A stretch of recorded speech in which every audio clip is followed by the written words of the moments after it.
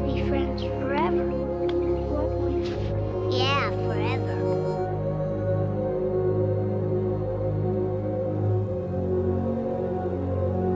We met, it seems, such a short time ago.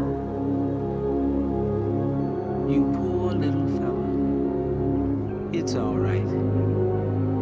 Big Mama's here. You're gonna need You looked at me, needing me so.